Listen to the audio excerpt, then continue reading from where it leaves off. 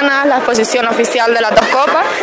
Una buena iniciativa para que la gente tenga la oportunidad de, estar cerca de una copa que han tocado sus grandes ídolos y una buena oportunidad que está aquí en el centro comercial del Mirador y que todo el mundo puede acercarse, sacarse una foto para tener un... ¿Las originales o una copia? Las originales. Ah, sí. ¿Y estas copas eh, pueden venir todo el mundo a hacerse fotos? Sí, sí, claro, desde el día 4 hasta el día 9 de marzo. Bueno, y tú que has tocado la Copa del Mundo con tus propias manos, ¿qué, qué has sentido? Aún no me lo creo.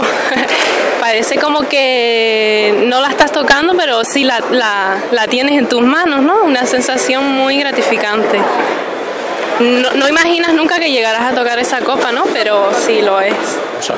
Bueno, eh, inicialmente nosotros tenemos planteado realizar a lo largo del año eh, acciones de este tipo para nuestros clientes y dada la afición que tenemos al fútbol, eh, se nos ocurrió la idea de poder, de por qué no plantearle a la Federación Interinsular la, posibilidad de traer los trofeos aquí a la isla. Hablamos con la Federación Interinsular y a través de ellos hicimos la solicitud a la Real Federación Española. Todo han sido ayudas y colaboración por su parte y al final hemos podido tenerlas aquí. ¿Les cobra, tiene interés lucrativo en todo esto o lo hace de una manera altruista? No, la federación, eh, tanto la española como la interinsular, no nos cobra nada por esta, por esta sesión. Es una sesión que puede solicitar en principio cualquier organismo y cualquier em, empresa eh, española, porque es un trofeo de todos los españoles al fin y al cabo, y eh, lo que nos ha costado a nosotros, lo que nos cuesta es la, logística del montaje, la seguridad, que tenemos que tener una seguridad reforzada eh, y básicamente la difusión publicitaria del evento. Es un gran impacto comercial. ¿Realmente a quién le surgió esta idea? Ya le digo, fue una, un poco del equipo de marketing del centro comercial el que dando un poco, dándole vueltas a, qué posibilidades podemos para hacer un evento especial, nos surgió un día sabiendo del atractivo que tiene el fútbol y sobre todo las pasiones que, lleva el traer los trofeos aquí. Bien, ¿cuántos días va a estar? ¿En qué horario pueden venir a hacerse la foto con las, con las copas? Bueno, pues en principio estará hasta el sábado día 9, en horario de 9 de la mañana a 10 de la noche ininterrumpidamente. ¿Y los que vengan podrán tocar la copa con sus manos? Sí, también podrán tocarla y hacerse la foto en un eh, escenario con eh, un fotocall de la selección española por la parte trasera para que tengan un recuerdo inolvidable. ¿Y dónde queda ese fotocall? Está justamente detrás de las copas. ¿Y se pueden hacer la foto con, con, ella? Sí, se puede hacer la foto con ella. Bueno, pues felicitarle por esta brillante idea comercial que ya necesitábamos también una alegría con todo lo que está cayendo, ¿no? Efectivamente, lo que pretendemos es eso, eh, que sirva de, de, ilusión y que sirva de aliciente para que la gente se anime y sepa que las cosas con trabajo y tesón se pueden conseguir. Bueno, como gerente yo imagino que estará luchando ahí en la estrategia comercial, en este caso de, del centro comercial El Mirador. ¿Cómo anda su despacho el día a día, la situación económica, todo esto, cómo lo ve? Bueno, la situación económica está como en, eh, pues como de todos lados, está complicada, el sector del comercio es un sector eh, doblemente afectado porque dependemos del consumo y el consumo está en ahora muy baja, pero eh, siempre también al comercio se nos, se nos achaca o se nos distingue porque somos muy dinámicos, no echamos en saco roto ninguna iniciativa y siempre estamos intentando innovar para poder atraer a nuestros clientes. Es importante la innovación, creatividad y eh, eh, bajo el punto de vista empresarial y estratégico. Sí, ahora más que nunca hay que eh, innovar y hay que buscar alianzas con, distintos sectores. En este caso puede ser el futbolístico, otros puede ser el cultural. Es decir, hay que tener sinergias con distintas instituciones y con todos los actores que, que actualmente disponemos para intentar entre todos superar este, esta situación. Ahora va a venir la, la, plantilla de la Unión Deportiva Las Palmas al completo. ¿Qué relación tiene el centro comercial, la Unión Deportiva, la gesta de posible subida primera? Bueno, en principio nosotros hemos invitado a todos los clubes de la isla a visitar la exposición. Hicimos una gestión eh, en particular con la, con la Unión Deportiva por ser el equipo de nuestra isla más representativo y bueno, ellos han aceptado la invitación amablemente, a lo cual agradezco a su presidente y a toda la plantilla y la, la, idea es que como futbolistas y como equipo referente de la isla puedan sacarse una foto y puedan estar con, con las copas durante, durante este espacio de tiempo. Ya, ya, la última pregunta. Le he visto codo con codo con el Cabildo y con el Ayuntamiento. No sé si le habrá pedido algo, pero seguro que a nivel gerencial, a nivel estratégico, comercial, pues tendría mucho que pedirle a las instituciones políticas. Si tuviera como empresario, como gestor de una política empresarial, ¿qué le pediría a la política? Yo le pediría eh, agilidad y estabilidad, es decir, agilidad a la hora de tramitar y de solucionar todos los mm, procesos burocráticos que muchas veces eh, nos encontramos a la hora de montar un negocio y, estabilidad para poder hablar de otras cosas que sean eh, el crecimiento económico, que sea la creación de empleo, que sea el trabajo y que sea el, todo la prosperidad y dejarnos de eh, hablar de otro tipo de historias que al final nos ayudan a, a salir de la crisis. Ojalá la discusión. Muchas gracias. La economía necesita ideas imaginativas que por lo menos nos suban un poquito la moral, ¿no? Efectivamente, sobre todo ahora más, eh, como dicho, con una crisis económica y con una economía, pues la verdad que ahora mismo bastante débil, pues necesitamos iniciativas y necesitamos revulsivos que atraigan a, y que dinamicen el sector económico y el sector empresarial. Y en este caso hoy pues presenciamos una, un ejemplo de ello, ¿no? El, la iniciativa que ha tenido el centro comercial en Mirador eh, junto con la Federación Interinsular de Fútbol de, la, de Las Palmas, pues hace que bueno pues que se atraigan muchas personas a este centro para poder observar eh, estos trofeos que son los referentes a nivel Europa y a nivel mundial del fútbol y del deporte y por lo tanto eso hace que también se atraigan muchísimas personas y se combine pues un ámbito y un sector en este caso deportivo también pues con una idea de iniciativa y de dinamización empresarial y económica. ¿El Ayuntamiento de Las Palmas contribuye económicamente también a este proyecto? No, esto es una, esto es una iniciativa totalmente privada y totalmente eh, es un convenio bilateral ¿no? entre la Federación y el Centro Comercial Mirador, pero sí el Ayuntamiento de Las Palmas de Gran Canaria pues colabora en todo aquello que hace con la Federación Interinsular de Fútbol, con diferentes campeonatos, como hemos visto el Torneo Atlántico últimamente, o con cualquier otra iniciativa que tenga la Federación, a la cual llegamos a muchísimos convenios, como también ha sido el último, el colocar un césped artificial en el Alfonso Silva, en el campo de fútbol Alfonso Silva, donde el convenio entre las partes, entre la Federación de Fútbol y el Ayuntamiento de Las Palmas de Gran Canaria, va a posibilitar que más de 500 niños pues, jueguen al fútbol en unas condiciones mucho mejores y con unos césped de primera calidad. Ya era hora, ¿no? El Alfonso Silva. Sí, efectivamente, porque llevaba muchísimos años, eh, por decirlo así, abandonado, sin meterle ningún tipo de, de arreglo y por lo tanto esta corporación, este gobierno municipal, pues ha decidido el echarle ganas y sobre todo sin dinero llegar a esos convenios con federaciones y con otros ámbitos deportivos para que los niños de la ciudad tengan la mejor calidad posible. Va a venir la Unión Deportiva en su plantilla al completo. La Unión Deportiva está ahí luchando por una gesta de meterse en primera división. Eso para la capital, para la, Las Palmas de Gran Canaria, ¿qué puede representar? Bueno, evidentemente, como hemos dicho, al final el fútbol también es un motor, un motor económico muy grande y por lo tanto el tener un equipo en primera división es fundamental también para una ciudad de primera como es Las Palmas de Gran Canaria.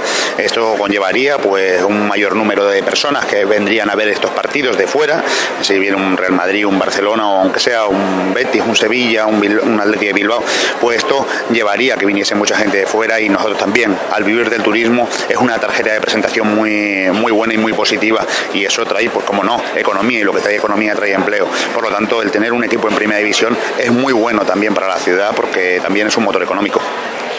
¿Y qué puede representar esto para la economía de Canarias, el que hoy estén esas grandes copas aquí en, Gran Canaria?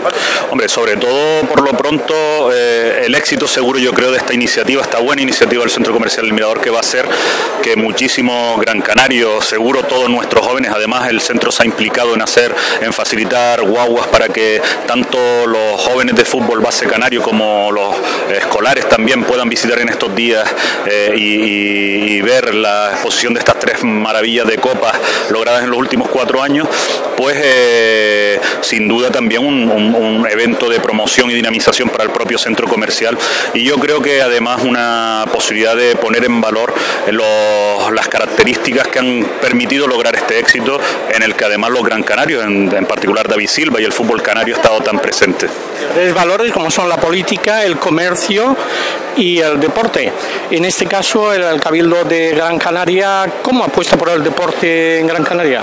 Bueno, el Cabildo de Gran Canaria, a través del Instituto Insular de Deporte, sostiene de hecho la aportación no solo al fútbol base, sino a los clubes de élite que son de deportes más minoritarios, pero además la apuesta del Cabildo de Gran Canaria en el próximo Mundo Básquet 2014 eh, es un esfuerzo que representando un hito a nivel nacional, el Cabildo de Gran Canaria, como es sabido, está sosteniendo en gran medida gracias a su impulso dentro de este contexto de crisis y la perseverancia de que se lleve a cabo este hito tan importante para Gran Canaria. No, bueno, es un hito muy importante y la construcción de una infraestructura que es verdad que iniciándose su proyección eh, en un momento anterior al que estamos viviendo, el mandato actual del Cabildo, eh, entendemos que no solo por lo que ya se ha invertido en esa obra, sino por lo que puede suponer y lo que va a suponer en el futuro eh, una, infraestructura una infraestructura para Gran Canaria deportiva de esa dimensión, también arquitectónica y deportiva, es necesario, es, requisito apostar y seguir apostando por ella, entre otras cosas, estamos hablando de un evento a nivel mundial que para España, para Canarias y para Gran Canaria es muy importante participar en la primera fase como sede del Mundo Básquet 2014. Ya para finalizar, dentro de unas horas estará por aquí la Unión Deportiva Las Palmas, que posiblemente el año que viene esté en primera división. ¿Eso qué representa para Gran Canaria? Los éxitos deportivos están sin duda vinculados con el éxito colectivo de una sociedad. En este sentido, eh, que nuestro equipo de referencia de fútbol eh, esté con las posibilidades, esperemos que se haga realidad de, ascender a primera división, sería sin duda para Gran Canaria un gran acicate, no solo desde el punto de vista anímico y poner a Gran Canaria de nuevo en el mapa de la primera de la élite mundial del fútbol, sino además una, con las consecuencias directas económicas que tiene para, para la isla. Pues muchas gracias. Muchísimas gracias. Eh, no hace falta que la toque eh, para sentirse orgulloso de, la camada de, de, jugadores que tiene ahora mismo la selección española y los triunfos que nos está dando el fútbol. Ya, pero todos queremos tocarle con la yema de nuestras manos lo que es la Copa del Mundo. Pero un futbolista como, como Germán Débora, cuando le toca, ¿qué siente? Hombre, una gran satisfacción porque ha, sido parte de, esto, pero que no has tenido la fortuna de, llegar tan lejos como han llegado ellos y es una satisfacción de haber pertenecido a, la selección española. Muchas gracias, Germán